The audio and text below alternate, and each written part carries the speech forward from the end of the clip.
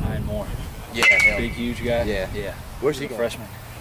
At Shawan. He was going into a sophomore year. Uh, He was dirty.